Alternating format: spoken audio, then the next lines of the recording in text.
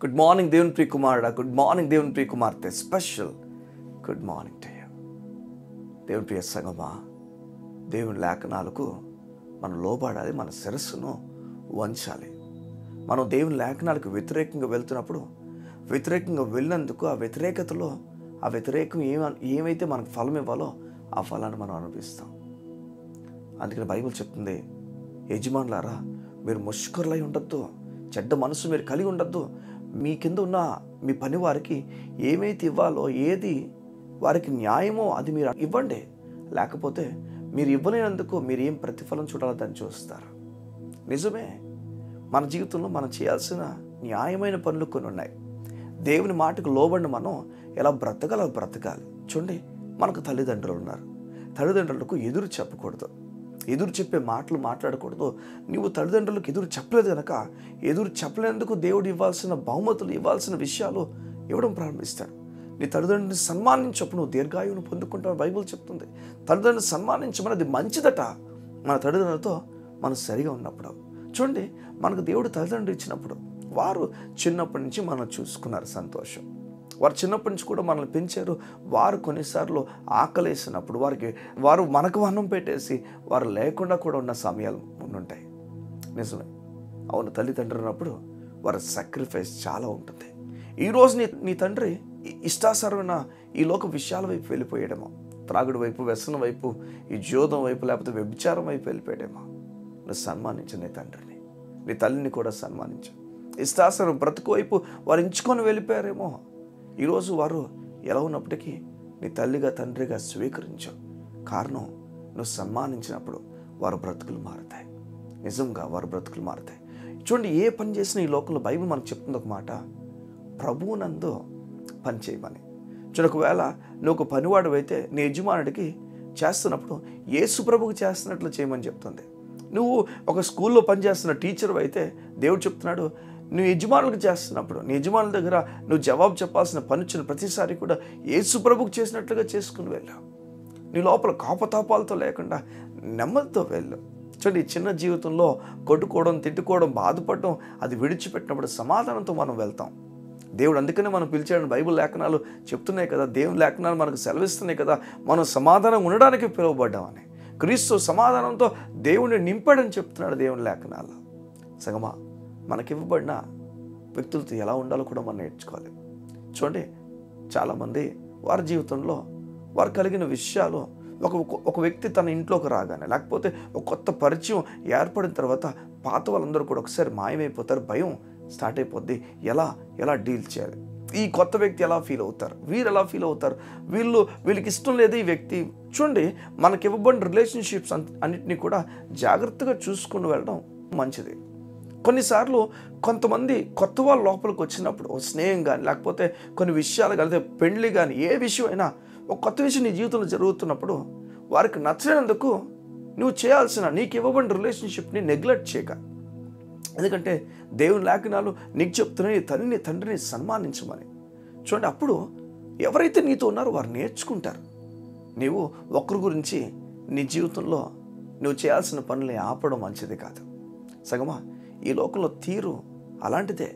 ఒకరంటే ఒకరికి అసూయ ఒకరంటే ఒకరు పడదు ఒకరు తక్కువ అని ఫీల్ అయిపోతున్న ఈ లోకంలో నీవు ఒకరు బట్టి నువ్వు చేయాల్సిన పని ఎందుకు ఆపేస్తావు? ఈ లోకం సెట్ అవుతుంది తన టైంలో చూడండి ఎవరైనా ఈ లోకంలో ఏసు నమ్మిన తర్వాత నీ కుటుంబంలో ఒక ఐదుగురు ఉన్నారు అనుకుందాం ఈ ఐదుగురిలో ఒక ఇద్దరు ముగ్గురికి పడవట్లేదు ఇష్టాసారంగా ఒకరి గురించి ఒకరు మాట్లాడేసుకుంటున్నారు. ఒక ఇద్దరు నీ వైపు ఒక ఇద్దరు నీ వైపు కాదు. ఒక ఇద్దరు నీ వైపు కనుక ఒక లేకపోతే నీ కుటుంబం అంతటి నువ్వు సహాయం చేయాల్సిన వ్యక్తి కనుక వారు చెప్తున్న మాటలు వినేసి ఇంకొకరి సహాయం ఆపద్దు. నువ్వు చేయాల్సిన చేసుకుని వెళ్ళు. నేర్చుకోవాల్సిన నేర్చుకుంటారు. కారణం దేవుడిని నా విధంగా ఉండమని చెప్తున్నాడు కదా. జాగ్రత్త వినండి. దేవుడు చెప్తున్న విషయం మనం చేస్తున్నప్పుడు దాని ప్రతిఫలాలు మనం చూస్తాం. ఎందుకంటే ఈ లోకంలో ఏ వ్యక్తి అయినా ఏ వ్యక్తి అయినా యేసు నమ్మినవాడు ఖచ్చితంగా తన శిరస్సును దేవుని ముందు ఉంచాల్సిందే. హంబల్గా ఉండాల్సిందే. ఈరోజు కాకపోతే రేపొద్దున రేపు రేపొద్దున కాకపోతే రేపొద్దున ఎందుకంటే దేవుని మాట చెప్తుంది క్షమించమని. ఇంకా అల్టిమేట్గా క్షమించాలి కదా. ఈరోజు వారు తిరగబడుతున్న వ్యక్తి ఏమో రేపొద్దున వారు క్షమిస్తారు. అందుకని నువ్వు వారితో కలిసిపోతూ నువ్వు దేవుని మాట ప్రకారం నిలబడడానికి ఇష్టపడు. నీ ఉద్యోగం చోట కానీ వ్యాపారం చోట కానీ ఏ చోటైనా నువ్వు దేవుని మాట ప్రకారం ప్రవర్తించు. నీకు ఇవ్వబడిన ప్రతి విషయాన్ని కూడా దేవుని మాట ప్రకారం చేసుకుని వెళ్ళడానికి ఇష్టపడావు. ఈ అన్నా బైబిల్ ఇంకొక మాట మనకు సెలవిస్తుంది ఈ విధంగా. మనల్ని క్షమించమని. ప్రభు మనల్ని ఎలా క్షమించాడో అటువంటి క్షమాపణ ఇవ్వమని. ఇవ్వడానికి సిద్ధంగా ఉన్నావా? క్షమించగలవా? నీ భర్తను క్షమించగలవా? నీ భార్యని క్షమించగలవా? అమ్మో డైవర్స్ అండే. ఈ డైవర్స్ లేకపోతే నేను ముందుకెళ్ళలేను. నీకు మాట క్షమించగలవా? క్షమించడానికి ఇష్టపడుతున్నావా? క్షమాపణ క్రైస్తవునికి మాత్రమే పుడుతుంది. ఎంత ఘోర పాపినని దేవుడు క్షమించాడు. అన్న ఆలోచన క్రైస్తుడు కలిగి ఉంటాడు గనక తాను కూడా క్షమించగలడు. నీ జీవితంలో ఈ మాట నెరవేరుస్తావా? ప్రభు మేము క్షమించినట్లుగా క్షమించమని. అది నెరవేరును గాక. నీ విడలు క్షమించలేకపోతున్నావేమో. చూడండి నిజమే మన జీవితంలో మన తల్లిదండ్రులు ఎన్నో గొప్ప పనులు చేశారు. ఈరోజు వారు వ్యతిరేకంగా తిరిగిపోయిన వారు మా అస్తమాను వారు డబ్బులు అడుగుతున్నారు నిన్ను.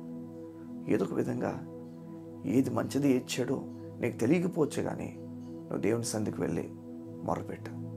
ఆయన తండ్రిని మార్చు నా తల్లిని మార్చు నా బిడ్డలు మార్చు. అస్తమాన్ డబ్బులు అడిగి కొడుతున్నారు. తాగుడికి వ్యసనాక్రాంతులు అయిపోయి డబ్బులు అడుగుతున్నారు. మార్చాయా? కొన్నిసార్లు మనం బాధపడిపోతాం. ఆ బాధను దేవుని దగ్గర తీసుకుని వెళ్ళాం తీసుకొని వెళ్ళాం తీసుకొని వెళ్ళకపోవడం వల్ల ఏమవుతుంది చెప్పండి? బాధ మిగిలిపోతుంది. బాధ విడిచిపెట్టే చోటు లేదు కనుక ఆ బాధ మాత్రం నీళ్ళ హృదయంలో ఉండిపోతుంది. నేను చెప్తున్నాను. ఆ బాధను ఎప్పుడైతే అంత తీసుకువెళ్తావో దాని రిజల్ట్స్ మనం చూస్తాం. అందుకని అడుగుడి మీకు తీయబడను వెతకుడి మీకు దొరుకుతుంది. తట్టుడి మీకు తీయబడను అడిగే వ్యక్తులు లేరు. అడిగే వ్యక్తులు ప్రారంభమైనప్పుడే కదా బహుమతులు మనం పొందుకుంటాం. అందుకని యాకోబు రాసిన పత్రికలు ఏ విధంగా ఉంటుంది? మీరు అడగలేదు కనుక మీరు పొందుకోలేకపోయారు. ఆ విధంగా నువ్వు ఉండొద్దు. నువ్వు అడుగు దేవుణ్ణి. నేను నమ్ముతున్నాను. నువ్వు గౌరవిస్తావని దేవుని మాటకు లోబడతావని ఆ మాట నీ జీవితంలో గొప్ప కార్యం జరిగిస్తాను ఈ ఉదయం నుంచి ప్రతి సమయంలో కూడా నేను దేవునికి లోబడుతున్నానా? దేవుని మాటకు విధేయుడికి వెళ్తున్నానా? అని చూసుకొని వెళ్ళాం. ఎందుకంటే విధేయత గొప్ప కార్యం నీకు జరిగిస్తుంది. కళ్ళు మూసుకున్నట్లయితే ఉదయాన్న నీ గురించి ప్రార్థన చేయడానికి ఇష్టపడుతున్నాను.